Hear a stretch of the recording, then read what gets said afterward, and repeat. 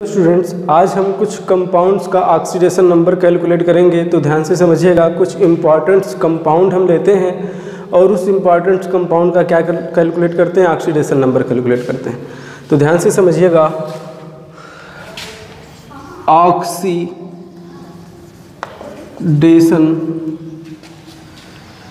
number of some important compound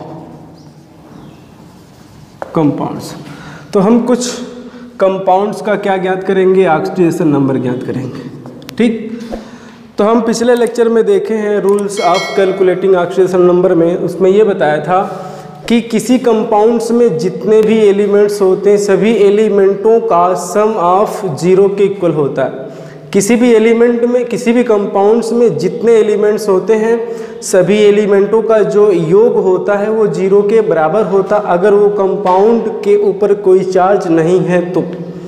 लेकिन अगर किसी कंपाउंड्स के ऊपर चार्ज उपस्थित होता है तो उस कंपाउंड्स में जितने भी एलिमेंट्स होते हैं, उस एलिमेंटों का बीच गणती योग उस चार्ज के इक्वल होता है।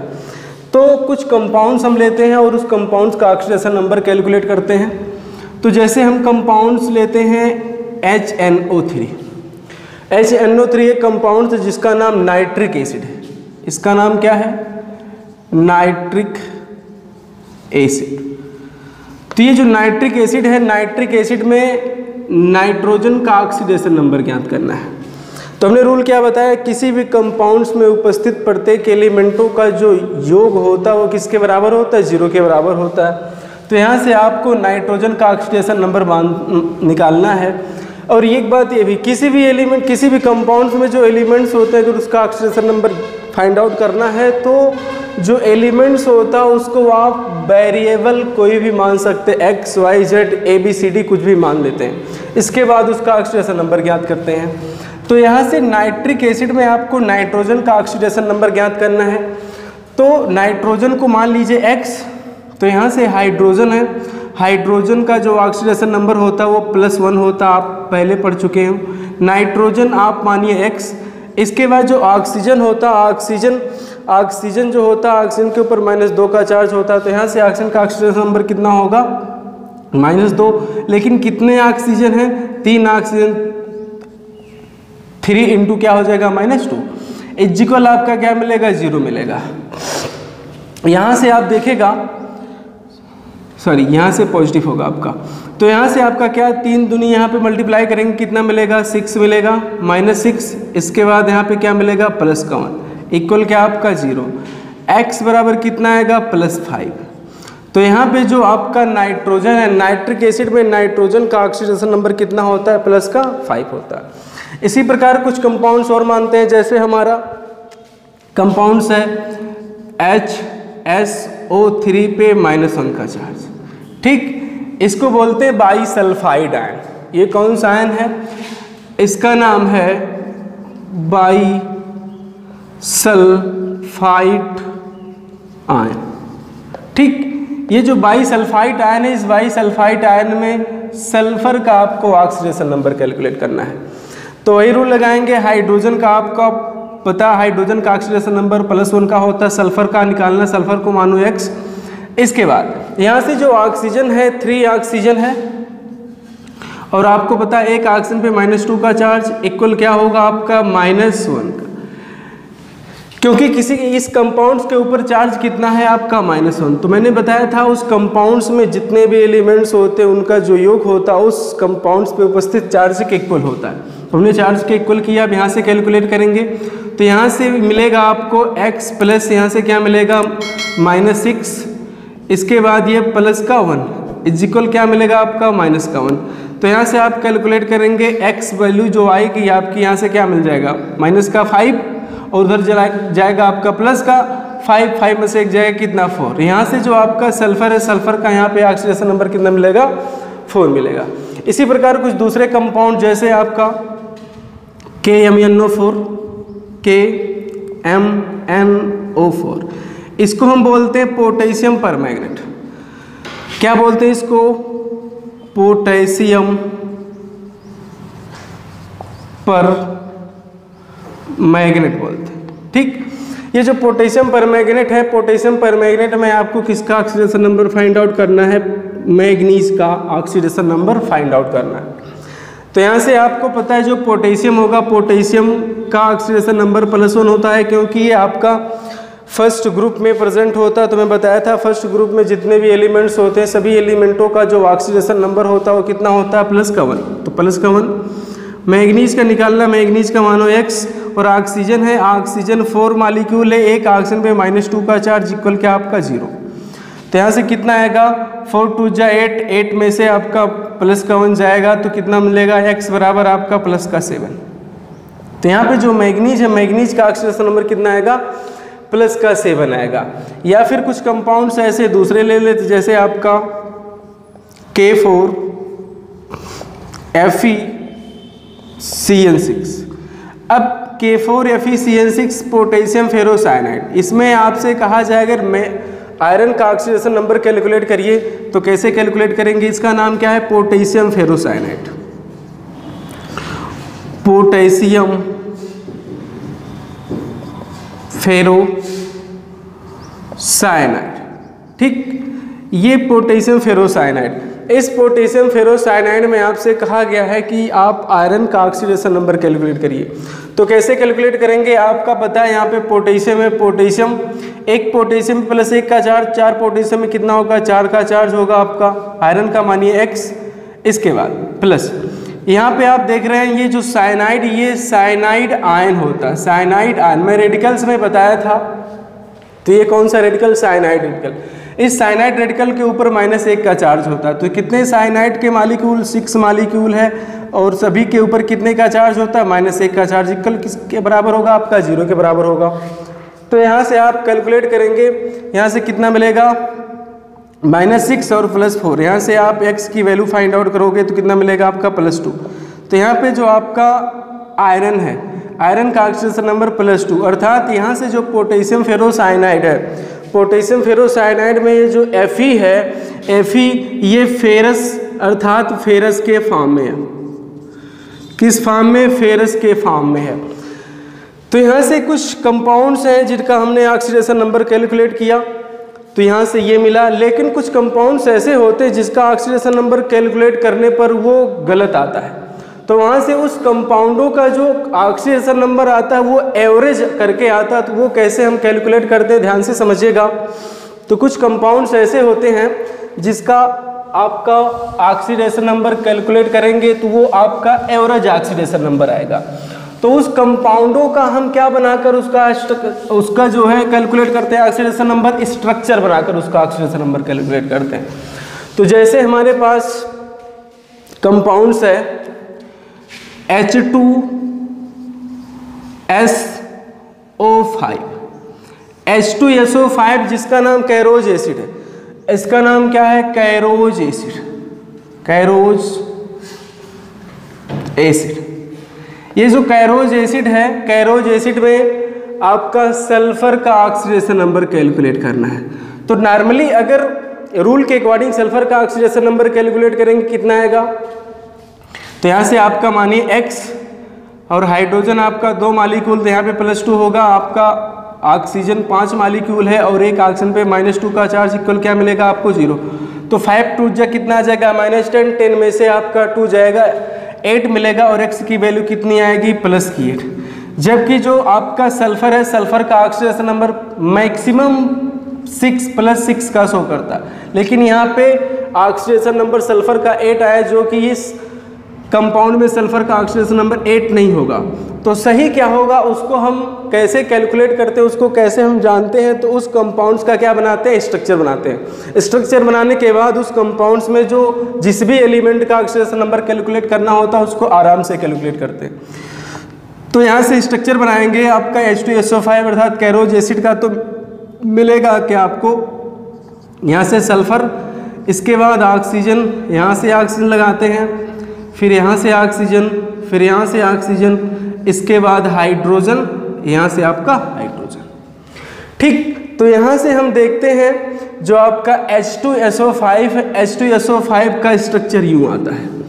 अब इस स्ट्रक्चर में आपको क्या फाइंड करना है? सल्फ़र का ऑक्सीडेशन नंबर फाइंड करना है. तो सल्फ़र का ऑक्सीडेशन नंबर कैसे फाइंड होगा? ध्यान से समझिएगा. आप यहाँ पे देखिए जो सल्फ़र है सल्फ़र हाइड्रोजन से बाउंडेड है, यहाँ से ऑक्सीजन से बाउंडेड यहाँ ऑक्सीजन ऑक्सीजन से बाउंडेड और यहाँ भी ऑक्सीजन से बाउंडेड है। तो यहाँ पे जो आपका सल्फ़र है, हाइड्रोजन और सल्फ़र में देखें तो जो सल्फ़र होता है, हाइड्रोजन की तुलना में मोर इलेक्ट्रोनिगेटिव होता तो सल्फ़र क्या करेगा, यहाँ से हाइड्रोजन लेगा। इसके ऊपर कितने का चार्ज आएगा, एक का चार्ज यहाँ से एक, दो दो, चार छः चार्ज आ गया आपका। दो यहाँ से, दो यहाँ से, दो दो, चार और एक, पाँच और एक छः तो यहाँ पे जो सल्फ़र होगा, सल्फ़र का ऑक्सीडेशन नंबर कितना मिलेगा आपका? सिक्स मिलेगा। और यहाँ पे आप देखिए जो ये ऑक्सीजन है, ये दोनों ऑक्सीजन ये पर ऑक्साइड लिंकेज है। पर ऑक्साइड लिंकेज ठीक? तो यहाँ से ये जो आपका सल्फ़र है, सल्फ़र का अगर हम स्ट्रक्चर बना के देखें तो जो सल्फ़र है, सल्फ़र का ऑक्सीडेशन नंबर कितना आएगा आपका? सिक्स आएगा। लेकिन अगर इसको जनरल वे से फाइंड आउट करें जनरल वे से इसका कैलकुलेशन करेंगे तो सल्फ़र का ऑक्सीडेशन नंबर कितना आएगा? प्लस का एट आएगा, जो कि गलत है। तो यहाँ से हमने कैरोज एसिड में सल्फ़र का ऑक्सीडेशन नंबर कैलकुलेट किया। इसके बाद हमारे पास दूसरा कंपाउंड्स है H two S two O eight दूसरा कंपाउंड रेट लेते हैं S two S two O eight ये जो H two S two O eight है, इसको हम मार्शल्स एसिड बोलते हैं। कौन सा एसिड बोलते हैं? मार्शल्स एसिड बोलते हैं। मार्शल्स एसिड ये आपका मार्शल्स एसिड में आपका सल्फ़र का ऑक्सीडेशन नंबर कैलकुलेट करना है तो कैसे कैलकुलेट होगा? ध्यान से समझिएगा। तो सबसे पहले इस सल्फ़र का हम क्या ज्ञात करते हैं? क्या बनाते हैं? स्ट्रक्चर बनाते हैं। तो सल्फ़र का जब स्ट्रक्चर बनाएँगे तो कैसे बनेगा? ध्यान से समझिएगा। आपको पता होगा जो सल्फ्यूरिक एसिड होता है। सल्फ्यूरिक एसिड का फार्मूला क्या होता है? H two S O four तो यहाँ से H two S O four sulphuric acid का फार्मूला होता है। आपको पता होगा जो सल्फ्यूरिक एसिड होता है, इसमें क्या कर दें? अगर सल्फ्यूरिक एसिड का दो मालिक्यूल ले लें। दो मालिक्यूल लेने के बाद यहाँ से आपका क्या मिलेगा? H two S O four sulphuric acid के दो मालिक्यूल लेकर इसमें से दो हाइड्रोजन क्या कर देंगे? अगर दो हाइड्रोजन किसी भी तरीके से सल्फ सल्फ्यूरिक एसिड के दो मालिक्यूल को लेकर रिप्लेस कर दें तो जो आपका मिलेगा एसिड उस एसिड को क्या हम बोलेंगे? मार्शल्स एसिड बोलेंगे। तो यहाँ से जब कैलकुलेट करेंगे तो आपका आएगा H two S two O eight तो हम दो सल्फ्यूरिक एसिड का स्ट्रक्चर बना लें। इसके बाद उस दोनों सल्फ्यूरिक एसिड के स्ट्रक्चर से दो हाइड्रोजन एनी हाउ हम क्या कर दें? रिमूव कर दें। रिमूव करने के बाद जो स्ट्रक्चर आपका फाइंड आउट होगा, वो मार्शल एसिड का स्ट्रक्चर होगा। तो सल्फ्यूरिक एसिड का जो स्ट्रक्चर होता है वो क्या होता है? ध्यान से समझिएगा। मेरे ख्याल से आपको पता होगा। तो यहाँ से हाइड्रोजन ऑक्सीजन सल्फ़र फिर आपका ऑक्सीजन फिर ऑक्सीजन फिर यहाँ से आपका ऑक्सीजन इसके बाद क्या आपका हाइड्रोजन ये जो स्ट्रक्चर है, ये स्ट्रक्चर सल्फ्यूरिक एसिड का है. किसका है? सल्फ्यूरिक एसिड का स्ट्रक्चर है. अब इस सल्फ्यूरिक एसिड का स्ट्रक्चर कितना मालिक्यूल सल्फ्यूरिक एसिड दो मालिक्यूल सल्फ्यूरिक एसिड ले लें. इसके बाद उसमें से हम क्या कर देंगे? दो हाइड्रोजन किसी तरीके से निकाल देंगे. जब दो हाइड्रोजन किसी तरीके से निकालेंगे तो जो स्ट्रक्चर हमारा बनकर आएगा वो किसका होगा? मार्शल एसिड का स्ट्रक्चर होगा। तो यहाँ से एक मालिक्यूल सल्फ्यूरिक एसिड का और बना लें। तो यहाँ से आपका ये, फिर यहाँ से आपका सल्फ़र से दो ऑक्सीजन बांडेड नीचे दो ऑक्सीजन बांडेड इधर एक ऑक्सीजन बांडेड इसके बाद यहाँ से एक आपका क्या? हाइड्रोजन अब हमको करना क्या है? इससे दो हाइड्रोजन क्या करना? रिमूव करना है। तो हम क्या कर दें? दो हाइड्रोजन यहाँ से यही है, दोनों हाइड्रोजन को क्या कर दें? रिमूव कर दें। दो हाइड्रोजन को जब रिमूव करेंगे तो जो आपका स्ट्रक्चर मिलेगा वो किसका स्ट्रक्चर मिलेगा? मार्शल एसिड का। तो हमने क्या किया? यहाँ से दो हाइड्रोजन हटा दिया। दो हाइड्रोजन हटा दिया तो यहाँ से आपका क्या हुआ? ये ऑक्सीजन और ये ऑक्सीजन ध्यान से समझिएगा, ये ऑक्सीजन और ये ऑक्सीजन एक दूसरे से कैसे बांड हो गए पर ऑक्साइड पर ऑक्साइड लिंकेज से क्या हो गए बद गए तो यहाँ से ये जो आपका मिला स्ट्रक्चर ये किसका स्ट्रक्चर है? ये आपका जो स्ट्रक्चर है, ये मार्शल एसिड का स्ट्रक्चर है। अगर इसमें देखें, जो सल्फ़र होगा सल्फ़र का ऑक्सीडेशन नंबर कितना होगा? सिक्स होगा। यहाँ पे देखिए, यहाँ पे दो, तीन, चार, पाँच छः तो यहाँ पे जो सल्फ़र है सल्फ़र का ऑक्सीडेशन नंबर कितना मिला आपका? सिक्स मिला। और इसमें देखिए, इसमें आपका दो, तीन, चार पाँच और एक छः यहाँ भी सल्फ़र का ऑक्सीडेशन नंबर कितना मिला? आपका सिक्स मिला। तो जो मार्शल एसिड है, मार्शल एसिड में आपका जो सल्फ़र है, सल्फ़र का ऑक्सीडेशन नंबर कितना होगा? आपका सिक्स होगा। लेकिन अगर नॉर्मली इसको जैसे कैलकुलेशन हम करते हैं, उसके अकॉर्डिंग कैलकुलेट करें तो कितना मिलेगा आपका सल्फ़र का ऑक्सीडेशन नंबर? देखिए, आपका दो हाइड्रोजन इसके बाद सल्फ़र, एक सल्फ़र का मानो एक्स दो सल्फ़र कितना होगा आपका? टू एक्स इसके बाद प्लस आठ मालिक्यूल ऑक्सीजन और एक मालिक्यूल ऑक्सीजन पे माइनस टू का चार्ज होगा इक्वल कितना मिलेगा आपका? ज़ीरो मिलेगा। इसके बाद अगर कैलकुलेशन करेंगे तो कितना हो हो जाएगा? एट टू जा माइनस सिक्सटीन होगा। माइनस सिक्सटीन में से आपका टू जाएगा माइनस का फोर्टीन मिलेगा। यहाँ से two X minus fourteen equal क्या मिलेगा आपका? ज़ीरो तो टू एक्स इजिकल क्या मिल जाएगा? प्लस का फोर्टीन एक्स इजिकल क्या मिलेगा? प्लस का फोर्टीन डिवाइड बाई कितना आपका टू इसके बाद जब आपका आएगा एक्स बराबर कितना आएगा प्लस का सेवन तो यहाँ से जो आपका सल्फ़र है सल्फ़र का ऑक्सीजन नंबर यहाँ से कितना आ रहा? प्लस का सेवन आ रहा। कितना आ रहा है यहाँ पे? सल्फ़र का ऑक्सीडेशन नंबर प्लस का सेवन कैसे आया? यहाँ से हाइड्रोजन हमने दो रखा। सल्फ़र एक मालिक्यूल यहाँ पे दो मालिक्यूल सल्फ़र का तो टू एक्स होगा। फिर यहाँ से हमने एट मालिक्यूल ऑक्सीजन है एक ऑक्सीजन पे माइनस टू का चार्ज तो एट टू जा कितना हो गया? सिक्सटीन हो गया। सिक्सटीन माइनस सिक्सटीन में से प्लस का टू जाएगा तो कितना बचेगा? आपका प्लस का फोर सॉरी माइनस का फोर्टीन इसके बाद यहाँ से जब इसको इधर प्लेस करेंगे तो आपका टू एक्स कितना मिल जाएगा? आपका प्लस का फोर्टीन एक्स इजुकल कितना मिलेगा आपका प्लस का सेवन जो कि यहाँ पे जो प्लस का सेवन है, ये सल्फ़र का ऑक्सीडेशन नंबर गलत है। क्योंकि जो सल्फ़र होता है सल्फ़र कितना ऑक्सीडेशन नंबर शो करता है? प्लस का सिक्स क्यों? क्योंकि सल्फ़र का एटॉमिक नंबर कितना होता? सिक्सटीन होता अगर इसका इलेक्ट्रॉनिक कॉम्पिटिशन किया जाए टू कामा कितना मिलेगा? सिक्स अर्थात इसके लास्ट सेल में मैक्सिमम सिक्स इलेक्ट्रॉन ही होते हैं जिससे उसका ऑक्सीडेशन नंबर मैक्सिमम कितना होगा? सिक्स होगा। उससे ज़्यादा नहीं हो सकता। उससे कम हो सकता, लेकिन उससे ज़्यादा नहीं होगा। तो यहाँ से अगर जनरल वे से इस कंपाउंड का ऑक्सीडेशन नंबर निकाले तो सेवन आएगा, जो कि क्या होगा? गलत होगा। तो हम क्या करते हैं? ऐसे कंपाउंड्स का स्ट्रक्चर बनाकर उस कंपाउंड्स में जिस भी एलिमेंट का ऑक्सीडेशन नंबर कैलकुलेट करना होता कैलकुलेट करते हैं। तो हमने क्या बनाया? मार्शल एसिड का स्ट्रक्चर बनाया जो कि यहाँ से, और मार्शल एसिड का स्ट्रक्चर बनाकर सल्फ़र का ऑक्सीडेशन नंबर कैलकुलेट करना था, जो कि हमने कैलकुलेट किया। ठीक? और कुछ कंपाउंड्स हमारे पास और है, जैसे आपका सी आर ओ फाइव इसको बोलते हैं क्रोमियम पराक्साइड ये आपका क्या है? क्रोमियम पराक्साइड ये क्रोमियम पराक्साइड का स्ट्रक्चर क्या होगा? इसमें क्रोमियम का आपको ऑक्सीडेशन नंबर कैलकुलेट करना है। तो ध्यान से समझिएगा तो सबसे पहले इसका हम क्या बनाते हैं? स्ट्रक्चर बनाते हैं। तो जो क्रोमियम पराक्साइड का स्ट्रक्चर होगा, कैसे होगा? ध्यान से समझिएगा, आपका क्रोमियम होगा, इसके बाद ऑक्सीजन यहाँ से बाउंडेड होगा, एक ऑक्सीजन यहाँ से बाउंडेड होगा, एक ऑक्सीजन यहाँ से बाउंडेड होगा, इसके बाद ऑक्सीजन यहाँ से बाउंडेड होगा और एक ऑक्सीजन यहाँ से बाउंडेड होगा। ये आपका। तो यहाँ से जो स्ट्रक्चर मिला, ये आपका क्रोमियम पराक्साइड का स्ट्रक्चर है। और यहाँ से देखें तो ये आपका बटरफ्लाई स्ट्रक्चर का मिल रहा है। किस स्ट्रक्चर का मिल रहा? बटर फ्लाई संरचना का हो रहा है। ये एक तितली के जैसा संरचना बना रहा है। अब इसमें आपको क्रोमियम का ऑक्सीडेशन नंबर कैलकुलेट करना है तो कैसे कैलकुलेट होगा? ध्यान से समझिएगा। यहाँ से आपका क्रोमियम दो बाड बना रहा है। तो यहाँ से इसका ऑक्सीडेशन नंबर एक, दो, तीन, चार, पाँच छः तो क्रोमियम का ऑक्सीडेशन नंबर यहाँ से कितना हो रहा है? सिक्स हो रहा लेकिन अगर यहाँ से जनरल वे से कैलकुलेट करें तो यहाँ से कितना मिलेगा? क्रोमियम का ऑक्सीडेशन नंबर फाइव मिलेगा। तो यहाँ से ये आपका जो है, ये कौन सा लिंकेज है? ये आपका पराक्साइड लिंकेज। यहाँ भी पराक्साइड लिंकेज है। यहाँ से ऑक्सीजन का ऑक्सीडेशन नंबर कितना होगा? माइनस का वन। यहाँ से कितना होगा आपका? माइनस का वन।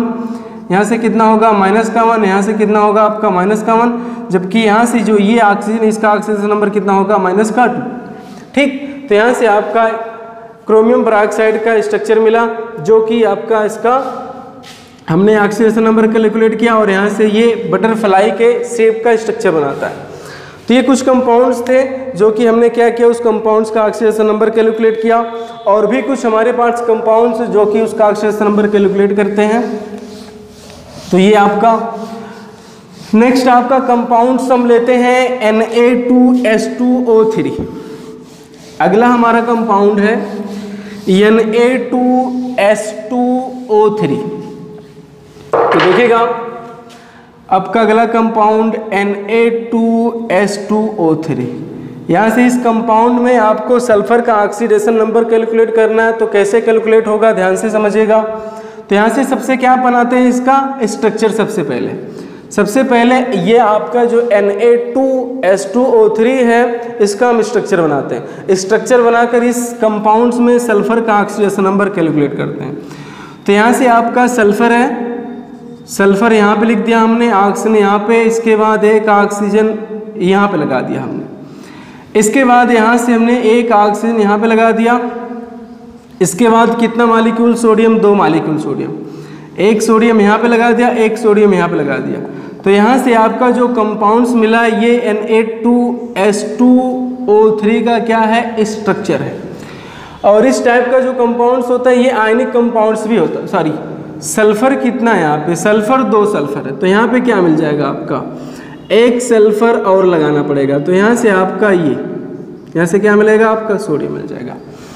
यहाँ पे देखें तो यहाँ पे ध्यान से समझिएगा जो सल्फ़र है, सल्फ़र का ऑक्सीडेशन नंबर कितना होगा?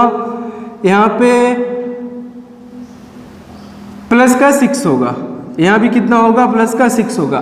तो यहाँ से जो Na2S2O3 है, इस कंपाउंड्स में क्या होगा? जो सल्फ़र है, सल्फ़र का ऑक्सीडेशन नंबर क्या होगा? सिक्स होगा। तो हमने क्या किया? कुछ कंपाउंड्स लिया, उस कंपाउंड्स का ऑक्सीडेशन नंबर कैलकुलेट किया और कैलकुलेट करने के बाद ये देखा। तो कुछ हमारे पास ऐसे कंपाउंड्स होते हैं जिनका हम ऑक्सीडेशन नंबर जनरल वे से कैलकुलेट कर सकते हैं, लेकिन कुछ कंपाउंड्स ऐसे होते हैं जिनका ऑक्सीडेशन नंबर जनरल वे से कैलकुलेट नहीं कर सकते। उस एलिमेंट्स का ऑक्सीडेशन नंबर कैलकुलेट करने के लिए उस कंपाउंड्स का सबसे पहले क्या बनाते हैं? स्ट्रक्चर बनाते हैं। स्ट्रक्चर बनाने के बाद उस कंपाउंड्स में जिस भी एलिमेंट का आपको ऑक्सीडेशन नंबर कैलकुलेट करना होता है कैलकुलेट करते हैं। इसके बाद हम क्या करते हैं उसको? आराम से देखते हैं।